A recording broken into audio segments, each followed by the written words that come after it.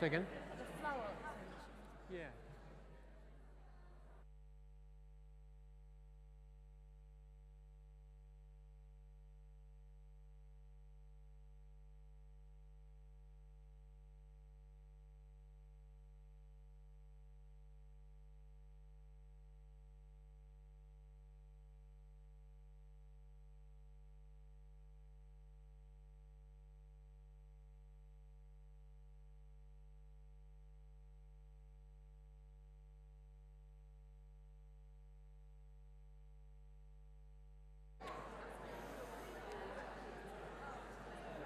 Welcome, everybody. Good to be together again. A very warm welcome to you all. Lots to give thanks for this morning. We thank God for a new day. Thank God for the sunshine, for one another. We thank God that the Lord Jesus is risen. Um, he's alive today. That means He's present with us here and now. The risen Lord Jesus. Amazing thought. Great to welcome you if you're um, new today, or perhaps you've been with us over Easter, you're coming back. Lovely to have you here. Um, welcome if you're watching online as well. Um, just to, I think we know what we're doing, but let me just remind us what, what is it we're doing when we meet together like this? We've come together to worship our God with our lips. We're going to sing praise to Him because He's worth our praise for all He is and has done. Um, we're also coming to get help to worship God with our whole lives. And so we need to hear from Him in the Bible as we go out to live for Him in the week.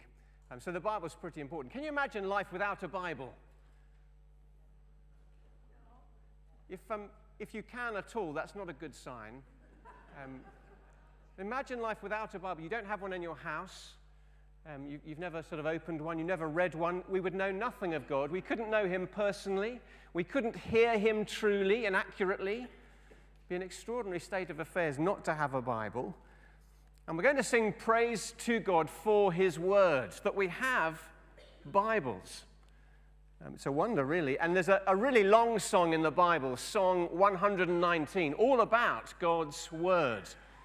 And in that song, there's a little refrain, a repeated line that comes, and it prays to God. It says, God, give me life according to your word. Give me life. I can only have that as I read and hear you in your word.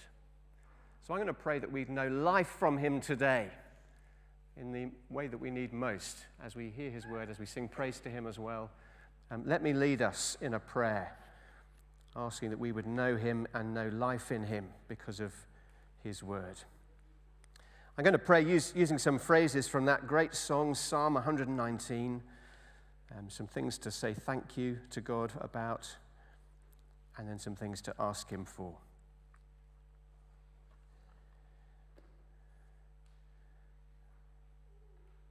We praise you today, Lord God. You are mighty. You are our heavenly Father. You always do the right thing. You are always merciful. And we thank you for your word, which is wonderful and eternal. Your word is the light that we need, is the honey that we crave. And so, Lord God and Heavenly Father, please open our eyes today to see wonderful things in your word. Do good to us, your people, and give us life according to your word. We ask it in Jesus' name. Amen. So let's stand to praise God for his word. Our first song, Your Word Alone, is the solid ground we need. Let's stand as the musicians lead us.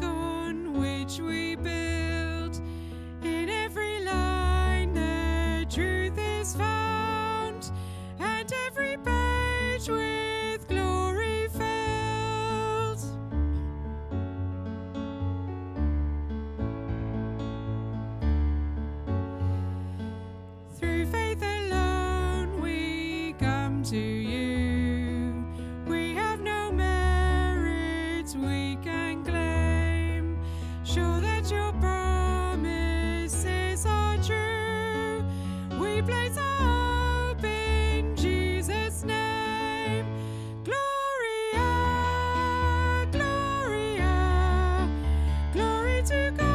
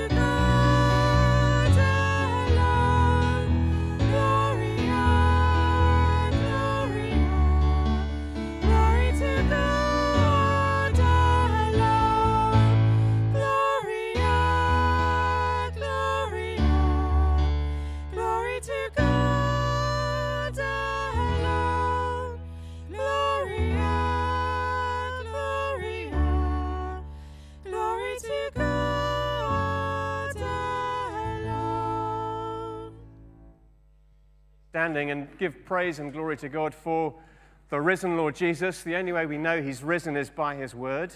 So he's not a dead figure of history, he's a living Lord every single day. And we're going to declare our faith in the resurrection now. And we're going to say that Christ has died for sins in accordance with his word, in accordance with the scriptures. So the words will come on the screen, they're on the sheets as well. Let's declare our faith in the resurrection of our Lord Jesus Christ. Christ died for our sins in accordance, he was buried on the third day in accordance with the scriptures. Afterwards, he appeared to his followers and to all the apostles. This we have received, and this we believe. Amen. Do have a seat.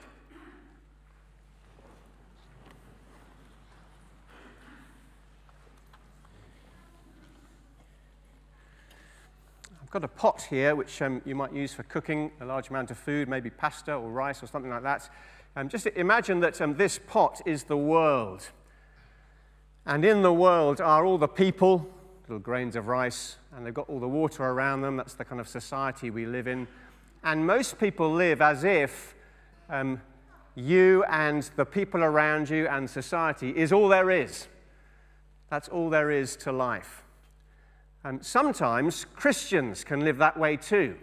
It's just me, other people, and society around me. And what the death and resurrection of Jesus does to the world is it lifts the lid and says, no, no, there is more. There is more to it.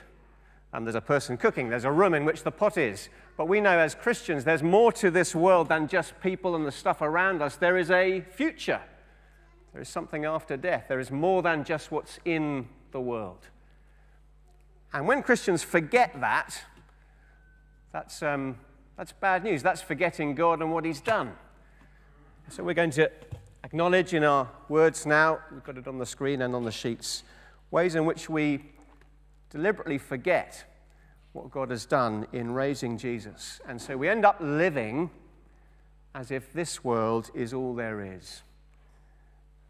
Very foolish thing to do if there's more.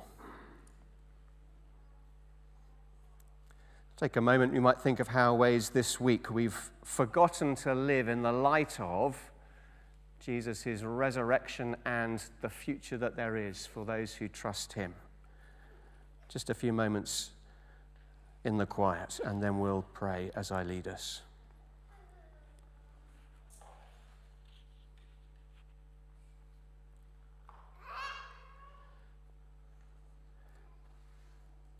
O Jesus Christ, risen Master and triumphant Lord, we bow before you in sorrow for our sins and confess to you our weakness and unbelief.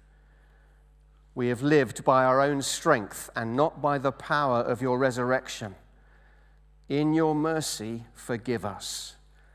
Lord, hear us and help us. We've lived by the light of our own eyes as faithless and not believing. In your mercy, forgive us. Lord, hear us and help us. We've lived for this world alone and doubted our home in heaven. In your mercy, forgive us. Lord, hear us and help us. Lift our minds above earthly things, set them on things in heaven. Show us your glory and your power, that we may serve you gladly all our days. Lord, hear us and help us. Amen. Later this term, we're going to come to this verse in Romans chapter 4. It says, Jesus was delivered over to death for our sins. That's why he died. Not just an accident, not even an accident. It was for our sins. And then it says, Jesus was raised to life for our justification. So we might be declared in the right with the living Lord God. We're going to turn to pray. And before we pray, we're going to sing a song reminding us of why we pray. It's a song that's got lots of lines in which make no sense at all. Uh, lots of lines in which are nonsense. Um, you may know it, you remember the song. It's got um, a line about a potato um, trying to swim, it's got a line about uh, a mountain trying to brush its teeth. Doesn't make sense. No sense at all. Why do we sing that? Because it's a great little, it's a bit like when we don't pray and Christians not praying makes no sense at all. It's nonsense. Have you ever had that feeling? Oh, I just didn't pray about that at all. I haven't been praying about that. That's a really big deal. That's nonsense for the Christian. And you see what, we, what we're going to sing about our God? He is the King of heaven.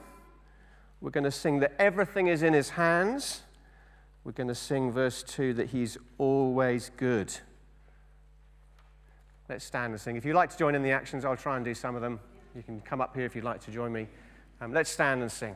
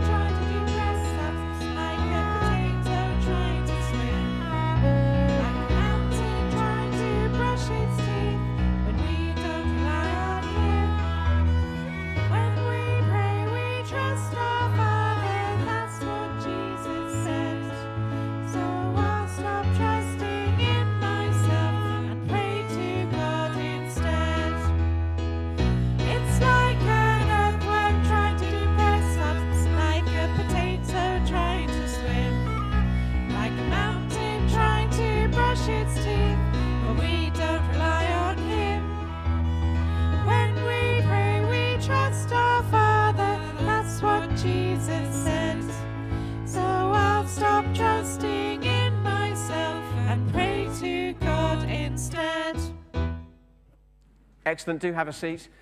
We're going to do that now. David's going to lead us as we rely on him.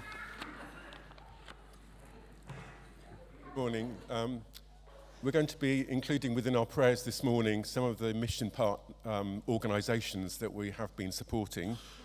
Um, so please join with me as we pray together.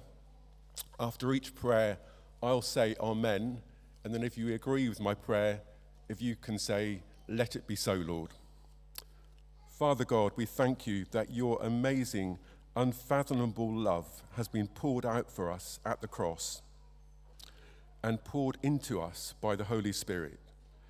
We want to taste and experience more of the depth and breadth and length and height of your amazing love. Help us to walk by faith. Help us to endure in suffering.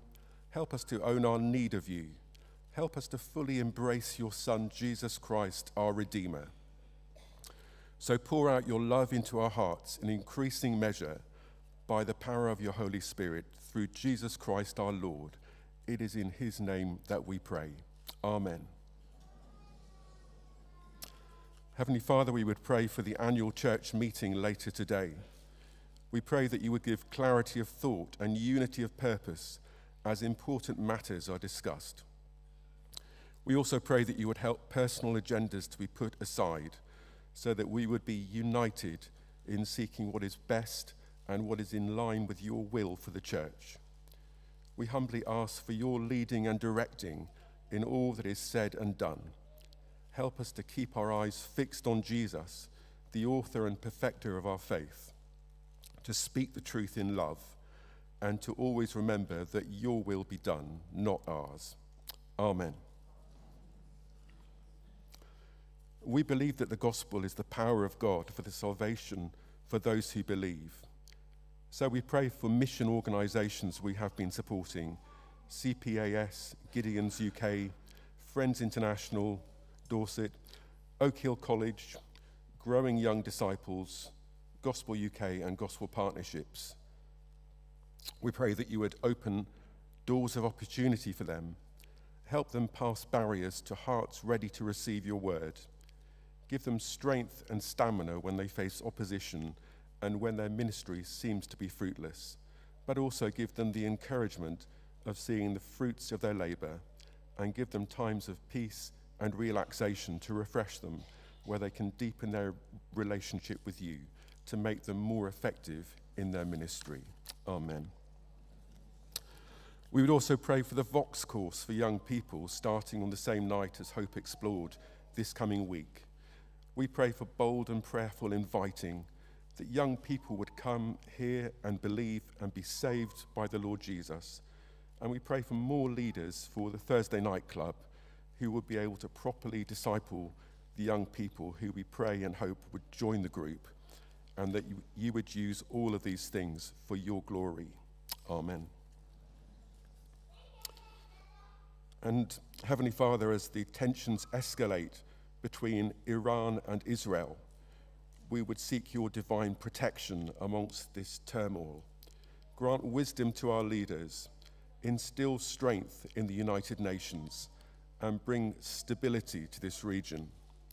Guide us towards peaceful resolutions and shield the innocent from harm. May your love overcome hostility, your light dispel the darkness of conflict and may you reveal yourself as the God of peace for all nations.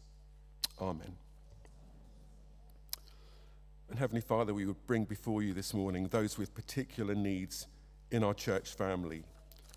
And we would name before you um, Sandy, Mary, Leo, Sylvia, Diana, Amy, Toby, Jeanette, Margaret, and Frank and Margaret.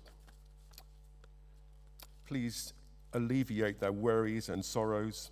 Help them to know your love and care for them. Please restore them to health again and grant them the grace and strength to accept their burdens and acknowledge your will and to know that what you do, you do out of your great and inexhaustible love for them. And we ask all of these things in the name of our great God, for from him and through him and for him are all things. To him be the glory forever. Amen.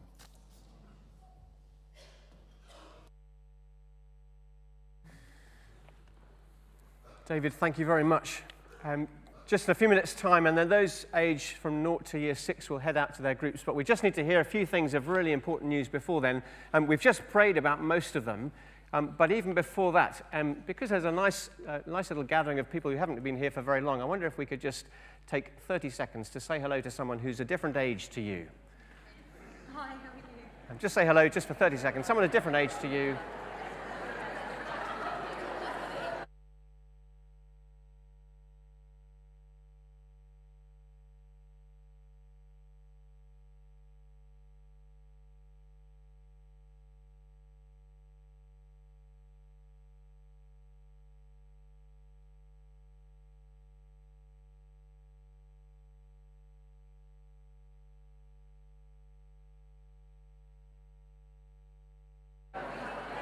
Good. Carry on over coffee. Far too short. Right. I hope you can stay um, for coffee afterwards. There'll be a chance to talk more. David prayed for our annual meeting, which is this evening. It's at 6 p.m. Um, don't be confused. You may have read it as 4 p.m. in the prayer diary. Please don't um, turn up then. But at 6 o'clock, we meet for the annual church meeting. Can I recommend you take a copy of the annual report for 2023? Lots of copies of this available at the back. This is really, really encouraging reading. Um, it looks like a few people have written some reports, but actually, as you read them, you'll see that lots of members of the church family have said, Oh, I thank the Lord for this because every week um, pick up one of these, have a read before you come this, this afternoon. And this afternoon, we, we pray this evening will be uh, really, really encouraging as we look back and very exciting looking forward. Lots of people are worried about things. I'm one of those. But I'm more excited about what God might do in the future. So do come this, this evening, 6 p.m., grab an annual report and before you, you do, and bring, bring others along as well. Um, David prayed too for um, two courses starting at the same time, deliberately the Vox course for secondary school age people, and then Hope Explored also at the same time. That's on Thursday this week, the 18th. Um, there are little reminder cards, flyer cards, invitation cards available. Those are for the Hope Explored course and the Vox course, green ones. Um, so Thursday Night Club will be praying hard for their friends and contacts, um, but do be praying for that. That's this Thursday. Now, the notice sheet has a various other things, so do take that away, please, um, as you head off from today. Um, but just before we go to groups, Kate is going to come and talk to us with Sam about the weekend. Here we are again. Guess what we're going to talk about? Right, thank you for signing up, those people who have about the church weekend. As you know, there is an enormous field with the church weekend and lots of activities that we've got planned. Now, the most important part of Christian ministry about anything that anybody does is you need to sign up because we need to know two things how many chairs to get out and how many cups to put out. Okay, so if you feel that you might be coming for some or part of it, you do not have to come for all of it, but some or part of it, please do fill in the form um, so we know, so we can be as prepared as possible. But we have been asked, Mark and I have been asked various questions, of which Sam is going to ask me now in an interactive fashion. Kate, Yes, Sam. do I have to come for the whole weekend? No, Sam, you do not. But please sign up whenever you might be coming so we know to put chairs out and to get enough cups out for everybody. That would be great. Can I bring my camper van? Yes, you can. You don't have to camp. For those who don't like being so close to the ground, if you have a camper van, you're very welcome to bring it. There is a, a different charge £20 for two people, or £15 if you're coming on your own. If you have friends who'd like to, you know, join in your camper van, that's fine, but there will be sort of additional charges on that. But yes, you can bring a camper van or a tent. What about electric? Is there electric hookup? I'm afraid you can't bring curling tongs, hair dryers, iPods, anything like that because there is no electrical hookup. Please make sure everything is charged before you come, but there is no electrical hookup. Cold showers only. No, there's not. I don't know. Showers are hot, I think. Showers are hot. Can I bring my dog or cat? dogs, cats, rabbits, pets. Um, this is an interesting one. I think this is where we have to consider everybody who's coming. I know there are some people who are actually quite scared of dogs, little people particularly. The campsite is happy for dogs to come, but I would suggest and I would possibly request if somebody can look after your dog for the weekend or for the bits that you're coming, that would probably be the best option so we can be considerate of everybody to be able to feel free and comfortable.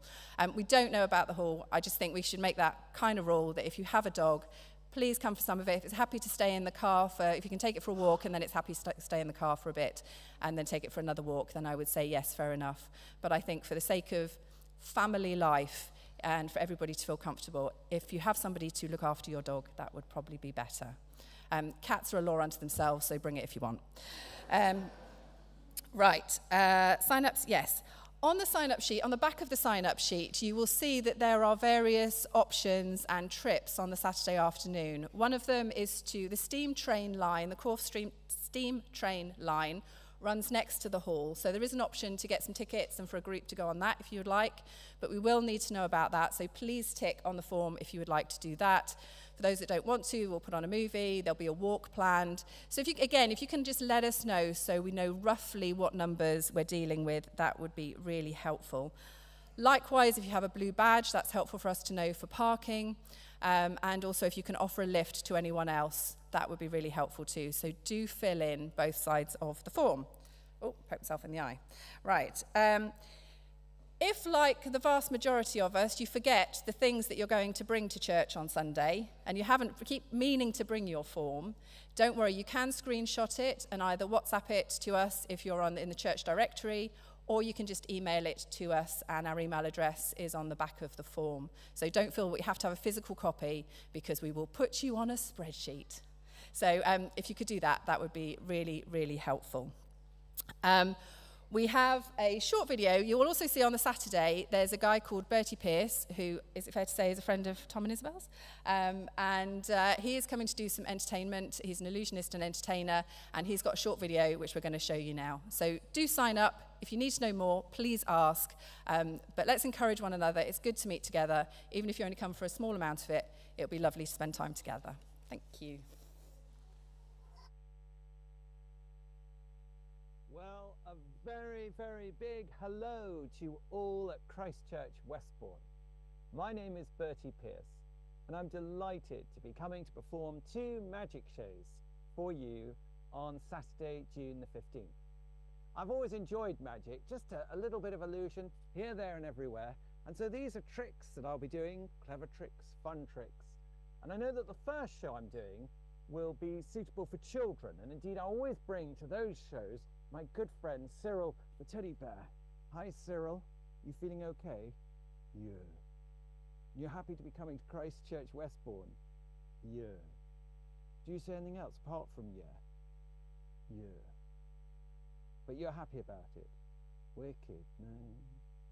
Well, Cyril, I think we're going to have a lot of fun when we go down. So the first show will be very much suitable for children. But again, I'm going to do a second show, more for the adults, but again, that will be suitable for children if they're there. It will be enormous fun.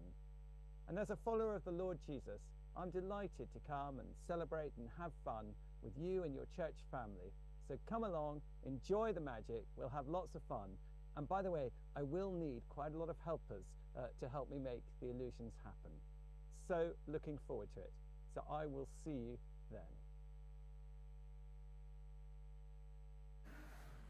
Great. All will be revealed in the middle of June. Um, forms, I think, are still available um, on the desk, so if you haven't yet got one, do pick one up from there.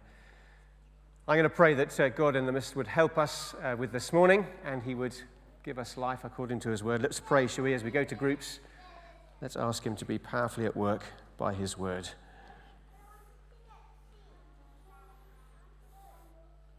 Gracious Father, we know the Bible is a lamp that you've given us, it's light that we need. It's food for our souls. And we pray, please, this morning, you would teach us, um, open us up to what you're saying, that we might hear you and trust you and love you and obey you and be glad to be yours and delight in you more. We pray it for Jesus' name's sake. Amen. So, if you're here for a first time and you're aged between naught and year six, um, then do make your way to the back. Others will be going to groups as well. On the screen will be a sign for, for where to go to, according to your years of school. Um, and we're going to sing as the younger ones head out as we prepare to hear the word in here. So let's stand as we sing, and the younger ones will head to their groups.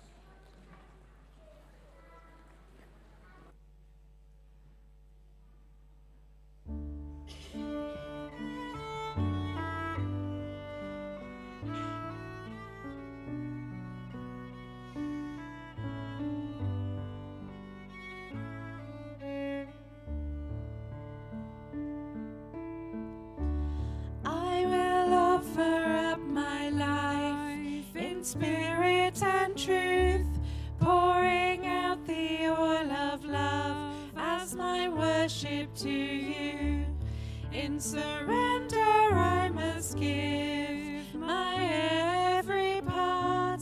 Lord, receive the sacrifice of a broken heart.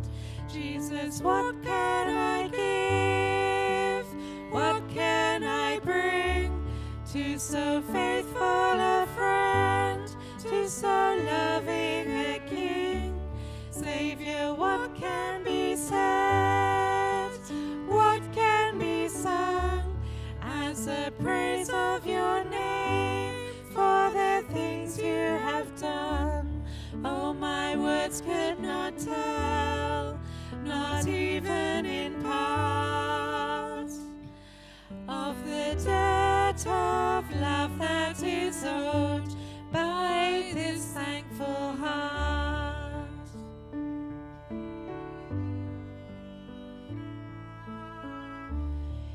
deserve my every breath, for you've paid the great cost, giving up your life to death, even death on a cross.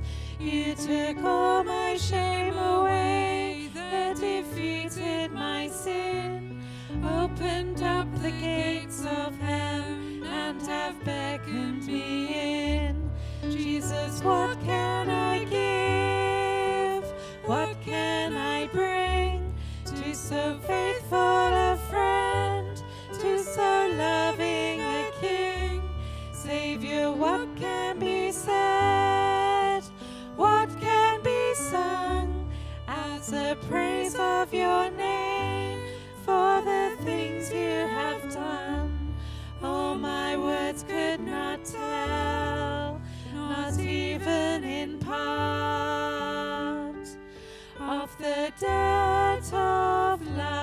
owed by this thankful heart.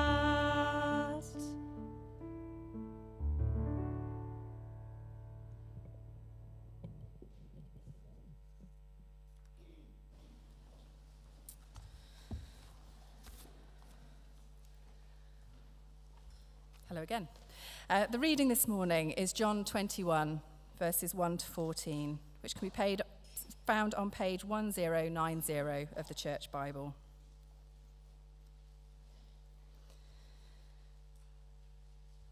John 21, verses 1 to 14.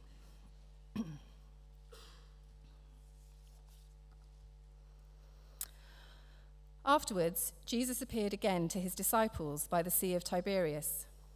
It happened this way Simon Peter, Thomas, called Didymus, Nathanael from Cana in Galilee, the sons of Zebedee, and two other disciples were together. I'm going out to fish, Simon Peter told them, and they said, We'll go with you. So they went out and got into the boat, but that night they caught nothing. Early in the morning, Jesus stood on the shore, but the disciples did not realize that it was Jesus. He called out to them, Friends, haven't you any fish? No, they answered. He said, Throw your net on the right side of the boat, and you'll find some. When they did, they were unable to haul the net in because of the large number of fish. Then the disciple whom Jesus loved said to Peter, It is the Lord. As soon as Simon Peter heard him say, It is the Lord, he wrapped his outer garment around him, for he had taken it off, and jumped into the water. The other disciples followed in the boat, towing the net full of fish, for they were not far from the shore, about a hundred yards. When they landed, they saw a fire of burning coals there, with fish on it, and some bread. Jesus said to them, Bring some of the fish you have just caught. Simon Peter climbed aboard and dragged the net ashore. It was full of large fish, 153, but even with so many, the net was not torn. Jesus said to them, Come and have breakfast. None of the disciples dared ask him, Who are you? They knew it was the Lord. Jesus came, took the bread, and gave it to them, and did the same with the fish. This was now the third time Jesus appeared to his disciples after he was raised from the dead. This is the word of the Lord. Thanks be to God.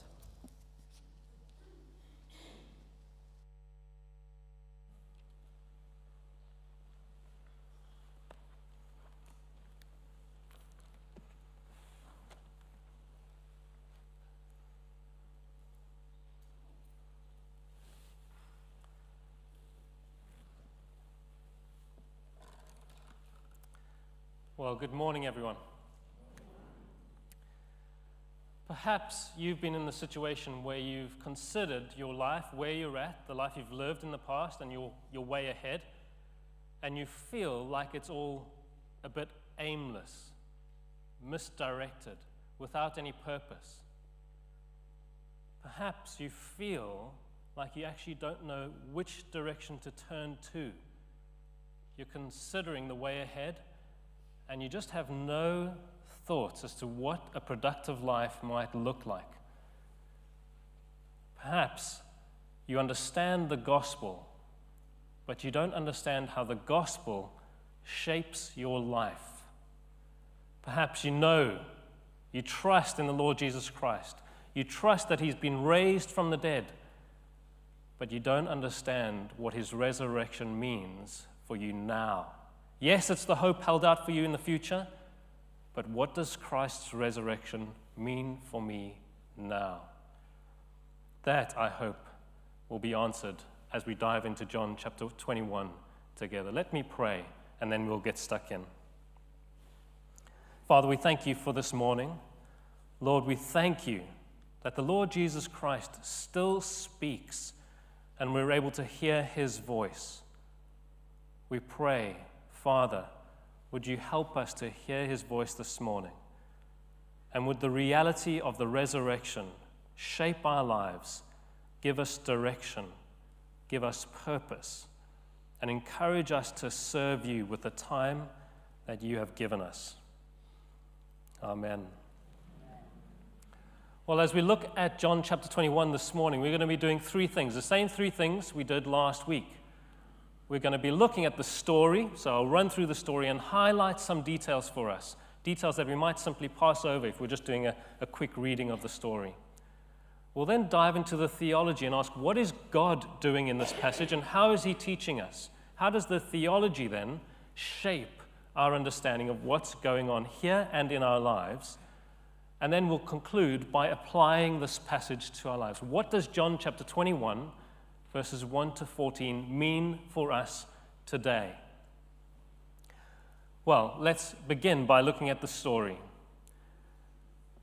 As we're diving into John chapter 21, it's very important that we understand the context of what's happened over the last few days, the last couple of weeks. Jesus Christ, roughly two weeks ago, was crucified on the Friday night. He was, he was killed, crucified, uh, died, and he was buried. Joseph of Arimathea asked Pilate, Can I take his body down from the cross? Pilate gave him permission, and then we find out that a tomb has been prepared for him.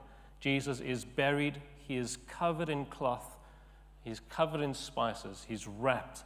The tomb is then shut with a big stone rolled across it. Three days later, Mary, uh, on the Sunday morning, before light is up, in the dark, wanders over to the tomb and she discovers that the stone has been rolled away. And she thinks that they've taken the Lord Jesus Christ's body out of the tomb. They think that, she thinks that people have stolen it and taken him away. She calls the disciples, two of them run, Peter and John. They see that the stone has been rolled away. They walk into the tomb and they witness the fact that there's just cloth left in the tomb. And there's a particular detail given it's the cloth that wrapped his body and the cloth that wrapped his head. And we're told at that point, John, seeing that evidence, believes. John believes. Well, they run back to all the other disciples as they left and as they leave Mary. Jesus appears to Mary. She doesn't understand who he is, she thinks he's the gardener. But it's at hearing his voice that Mary realizes this is the Lord Jesus Christ speaking to her.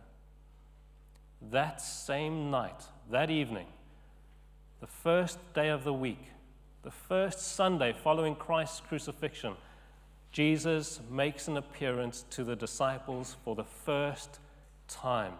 He shows them his hands and his side. He shows them that he has been raised from the dead. He is alive and well. He's defeated death. He's had victory on the cross. Christ appears to them. He says, Peace be with you. He breathes on them. We're told he gives them the Holy Spirit and he sends them out into the world just as he has been sent into the world. He commissions the disciples. Only one problem there was one disciple who was not with them. All the other disciples tell him, Thomas, Jesus Christ appeared to us. He is alive and well. He's been raised from the dead. Thomas does not believe a word of it. So, a week later, to the day, Jesus Christ appears for a second time to the disciples. He appears to them, and this time he has a very specific purpose. He's going to show his wounds to Thomas, the disbelieving disciple. Thomas's response is the only response that Christ deserves My Lord and my God. John gives us these two accounts for reasons. One, Jesus Christ has been raised from the dead. He has sent his di- disciples out, he's commissioned them. But secondly, the second appearance, John gives us an expectation of how we're to come to believe in the Lord Jesus Christ. Jesus has appeared to Thomas, but this is not going to be the normal way of coming to faith in Jesus. Jesus is not going to appear to all of us so that we might see who he is. No, belief, we're told by John, will come from reading the pages of Scripture. He says, These things were written. His gospel was written that we might believe that, Christ, that Jesus is the Christ, the Son of God, and that by believing in him we might have life in his name. How are we going to come to faith? John's making it explicit. We're going to come to faith as we read these words, God's word, telling us all about Jesus. Today, we have John writing about the third time Jesus appears to the disciples. Take a look down to John chapter 21, verse 1. Afterwards, Jesus appeared again to his disciples by the Sea of Tiberias. It happened in this way.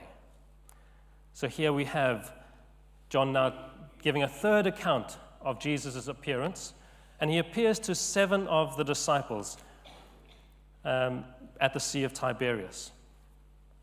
Notice that the, the, you might notice that the last time that um, Jesus was at the Sea of Tiberias with the disciples is the time when he fed the 5,000 with fish and bread. Here we are at the Sea of Tiberias, and the disciples seem to be mulling around almost aimlessly. We're told Simon Peter says, I'm going fishing. And the others, as if they've got nothing better to do and no plans for themselves, say, Well, we'll come with you. It's like a group of lads hanging around on the couch in the lounge on a Friday night and saying to themselves, Well, we've got nothing else to do. What should we do? And Peter says, Well, let's go fishing. And they all say, Yeah, we'll follow after you, Peter. So they go off fishing.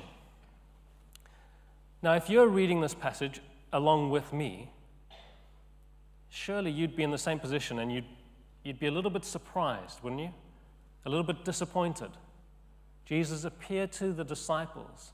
He commissioned them. He gave them His Holy Spirit. He, he sent them out. They've seen the resurrected Lord Jesus Christ, someone who has died, defeated death, defeated sin, offered us forgiveness, offered us a message to the rest of the world that his kingdom rules and he reigns. And here we have the very group of men who understand the significance of this message standing up and saying, Well, should we go fishing? Yeah, let's go fishing. It comes, a bit of, it comes across as a bit of a, an anticlimax, would you not think? They have been commissioned to go out into the world to claim Christ's kingdom through the proclamation of the gospel. And here we find them deciding almost aimlessly to go fishing. That is the sense of the passage. It leaves us slightly disappointed. But John's vocabulary also leaves us slightly disappointed with the disciples. We're, dis- we're told that the disciples went out, they got into a boat at night, verse 3. Now, there's two things to consider. Normally, when people went about fishing at this, in this day and age, it was at night. That was the time to fish, that was the time to, to catch your haul. But John's gospel is also symbol laden with the words he uses. So when John refers to night, it often refers to confusion, unbelief, and even worse, working against the Lord Jesus Christ. So, John chapter 1, we're told Jesus Christ comes into the world and the light shines in the darkness. John chapter 3, Nicodemus is speaking to Jesus. And we're told he comes to Jesus at night. He's confused. He doesn't understand who Jesus is. John chapter 3 again, Jesus tells us the wicked love the darkness.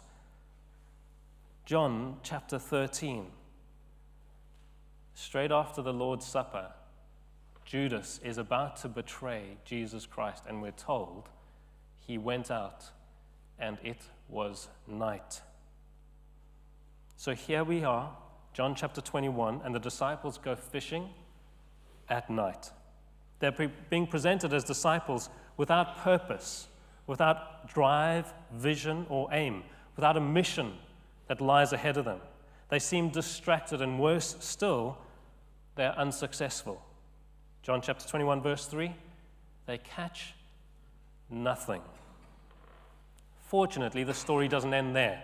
Take a look at verse 4 as day is breaking in, in the early morning, as the sun rises, so light begins to shine in on the darkness.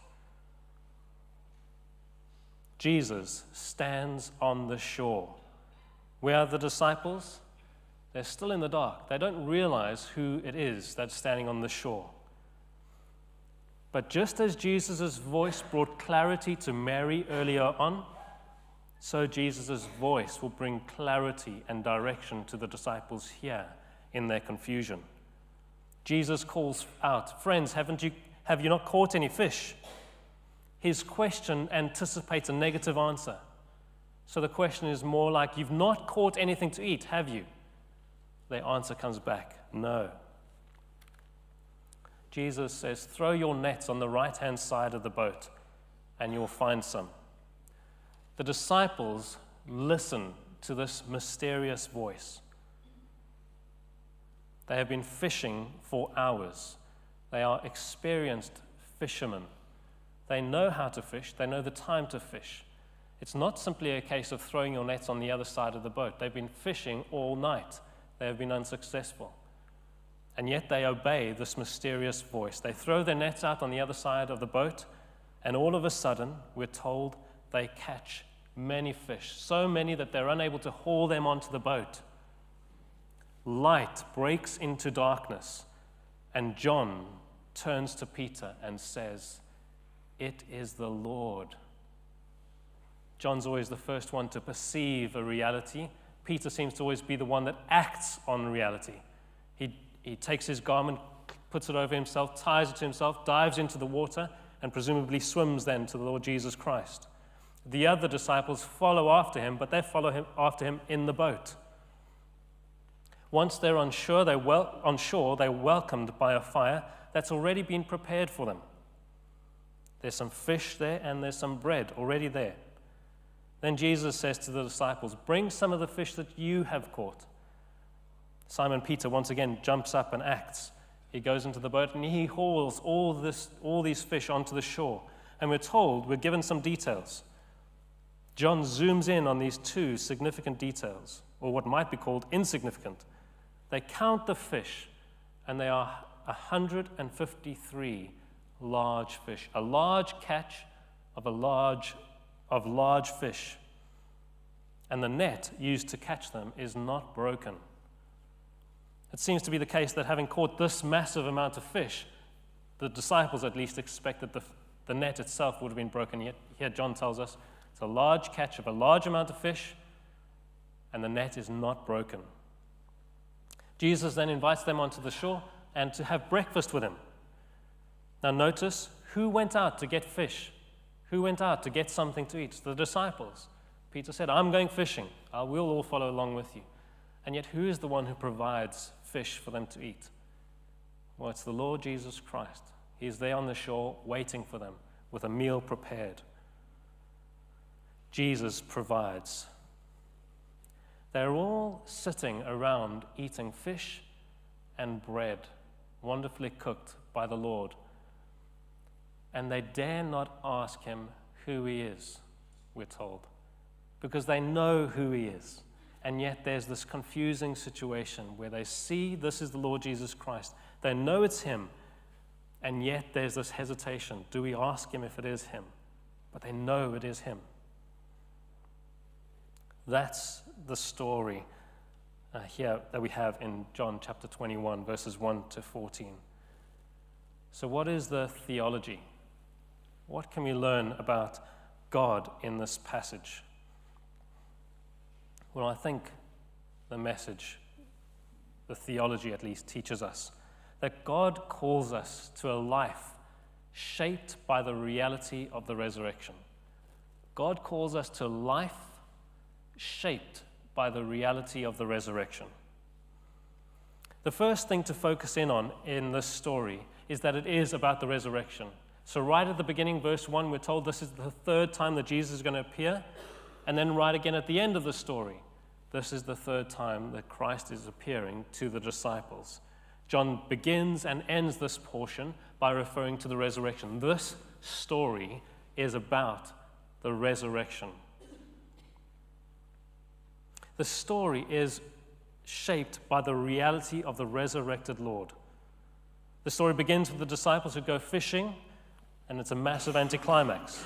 They have seen the risen Lord, they have been commissioned, sent out, and yet here they are fishing. We're expecting an action packed, purpose filled response to the Lord Jesus Christ, and instead we see some men deciding to go catch fish. There's nothing wrong with going to catch fish. But John's including this portion of the story right here where we would expect something else, something more exciting would be taking place. John tells us they're going fishing at night, and as we've already unpacked, that shows there's some confusion already.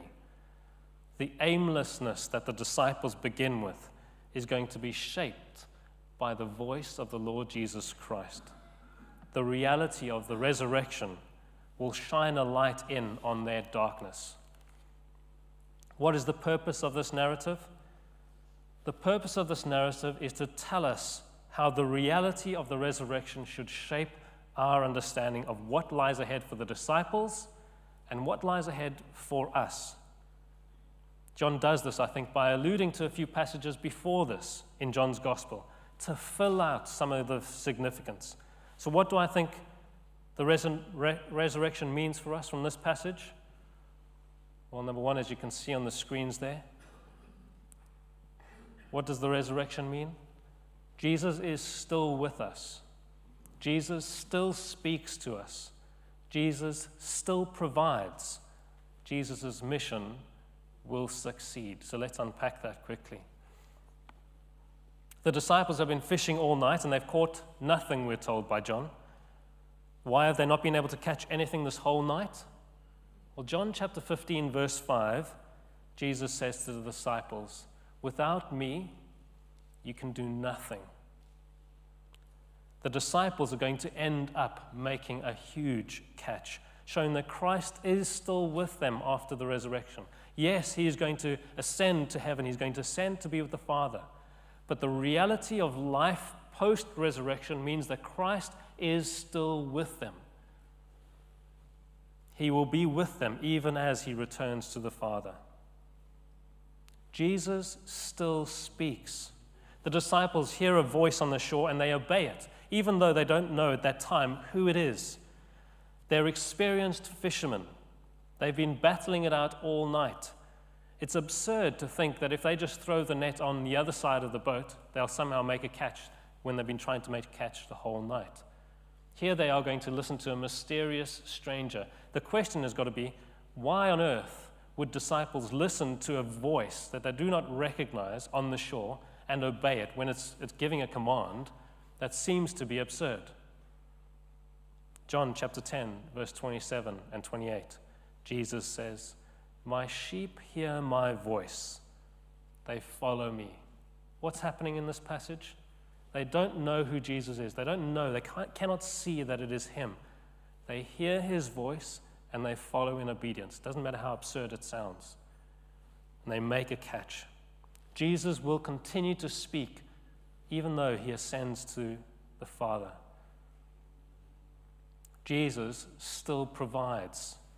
All of this takes place on the Sea of Tiberias, um, or the Sea of Galilee. The last time we were in Tiberias, uh, the Sea of Tiberias, we're told Jesus feeds 5,000. He gives the 5,000 people fish and bread. There is a massive crowd. They're all going hungry. Jesus turns to Philip and says, Where shall we buy bread to feed all these people? Notice it's where shall we buy bread? Philip and the disciples are being included in Jesus' attempt to feed the people. There is no place to buy bread, and Philip responds, even if there was, even if we spent all the money we have, everyone would just get a small little portion. Well, then, out of nowhere, a small boy appears. He has five small bread loaves and two fish. He offers them to the disciples and to the Lord Jesus Christ. Jesus takes that bread and that fish and he feeds 5,000 people. In John 21, Jesus is going to be the reason that the disciples catch any fish at all. They will go out to fish, but even when they're back on shore, it's Jesus who will feed them. He will have bread and fish prepared for them. Jesus could have just fed them and provided for them with the fish and bread that he had, and yet he calls the disciples to bring some of the fish that they have caught. They're going to contribute towards the breakfast Jesus is putting on. Just like the small boy after the resurrection, the disciples are going to be called to participate in God's mission. They're going to be called to Christ's service. Yes, it will all depend on Christ. Christ's mission, his kingdom will succeed, all because of what Christ does. And yet, he still calls us to serve him in his mission. And that mission will be a success. The disciples catch a large amount of fish 153, we're told. Don't know exactly why we're told 153. A whole lot of people come up with great reasons as to why it's 153 as opposed to 152. I don't know about that. I am, I am convinced it is a large amount of fish and a large amount of large fish.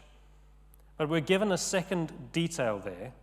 The nets were not broken, not a single fish escaped. That little detail circles back to John chapter 10, verse 28. My sheep hear my voice, he says. They follow me. I give them eternal life. They shall never perish. No one will snatch them from my hand. No one will snatch them out of my Father's hand. Here, in John chapter 21, an exact amount of fish has been caught. Not one has been lost. What do I think is happening here in John 21? I think Jesus is redirecting his aimless disciples his aimless and wandering disciples into his service. And the resurrection is going to be the foundation for understanding the mission that lies ahead. God calls us to a life shaped by the resurrection. What does the resurrection and the mission mean? What does the resurrection mean for the mission? What does it mean for the disciples? What does it mean for us? What does it mean for the mission of the church? Jesus is still with us. He still speaks. He provides. Jesus' mission will succeed. All of this, all of it, gives us purpose, gives us reason to serve Him. Jesus here is calling us to have our lives shaped by the resurrection. So, how does it apply to us?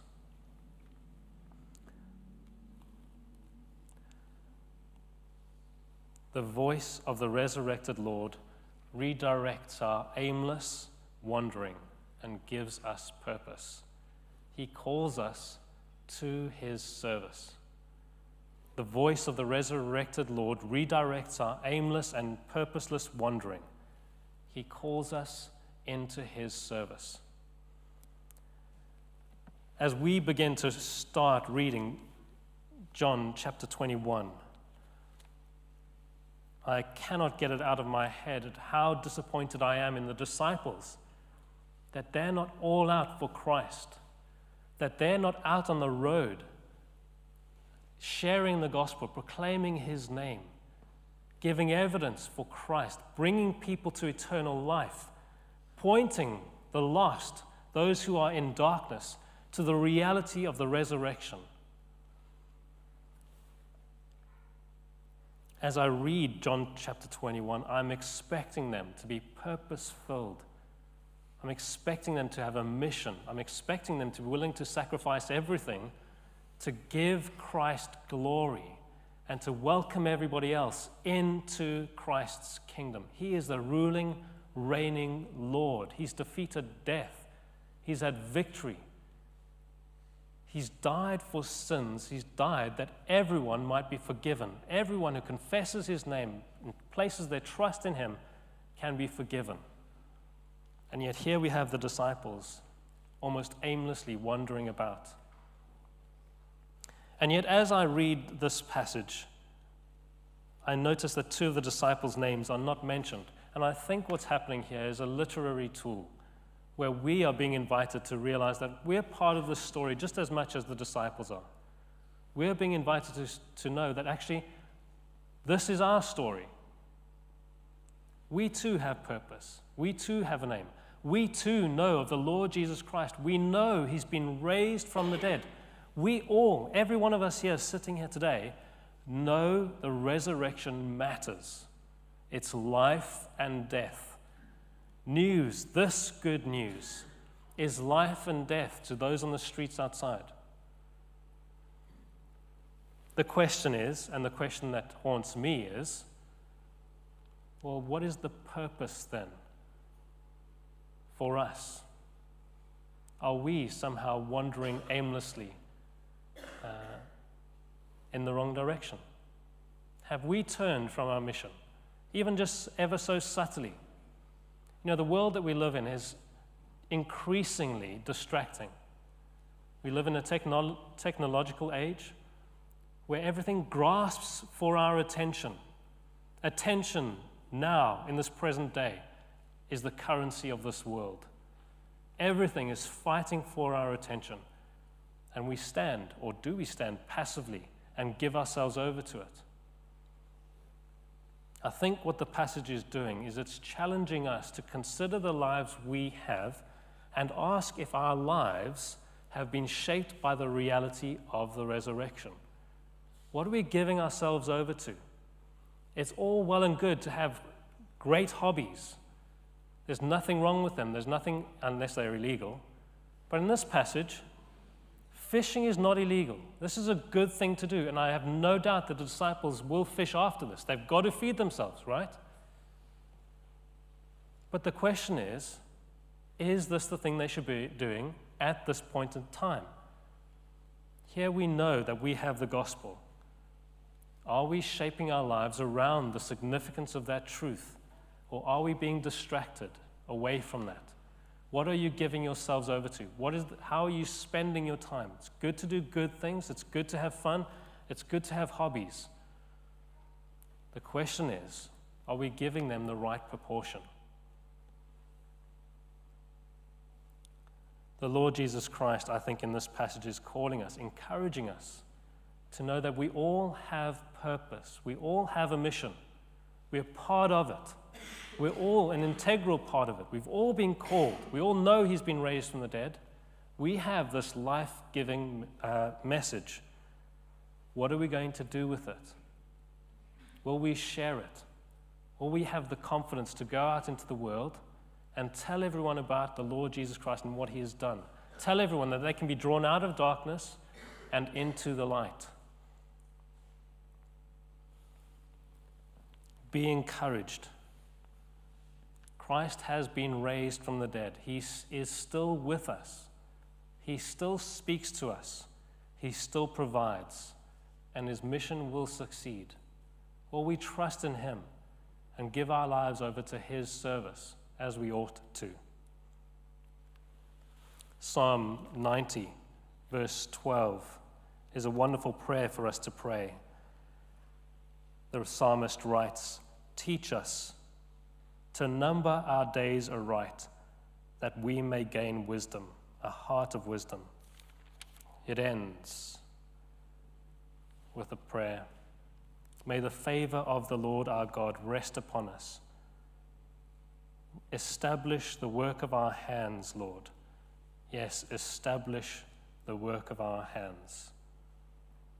Would you pray that prayer with me?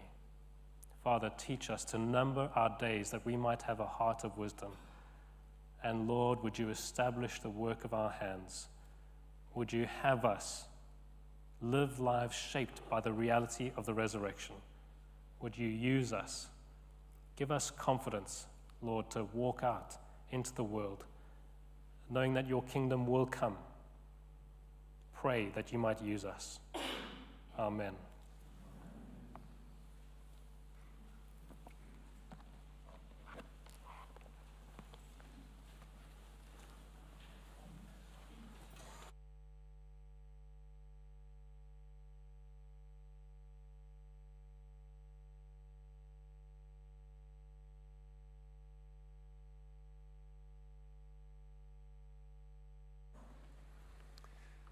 Our final song is a, a great reminder of how any of us can be involved in Jesus' mission, how we can be included in his plans, counted as one of his in the first place because of his amazing love, his mercy for us all.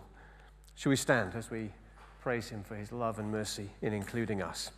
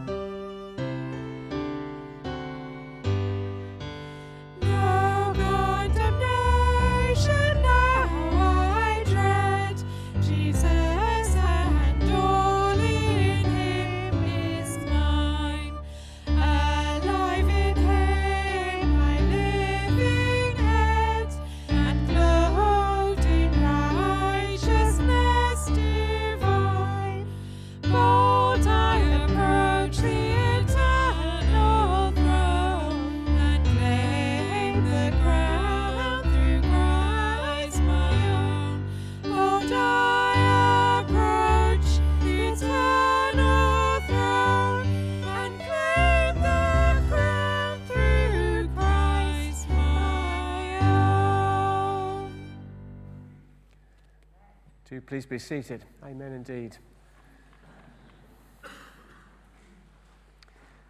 Uh, do stay if you're able to. There's tea and coffee in the hall, and especially if you haven't been around much and you'd like to get to know one or two people, do ask a question about anything in church life. Um, do make yourself known to us. Um, do pick up a, an annual report for last year. Grab one of those. Do pick up the information for this Thursday's Hope Explored and the Vox course. And let's rise up, go forth, and follow the Lord Jesus in his risen power to serve him. Some verses as we close from the end of 1 Corinthians 15.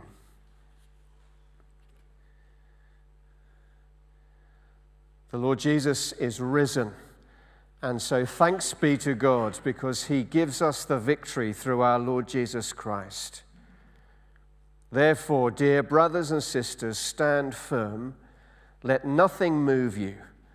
Always give yourselves fully to the work of the Lord, because you know that your labor in the Lord is not in vain. Amen.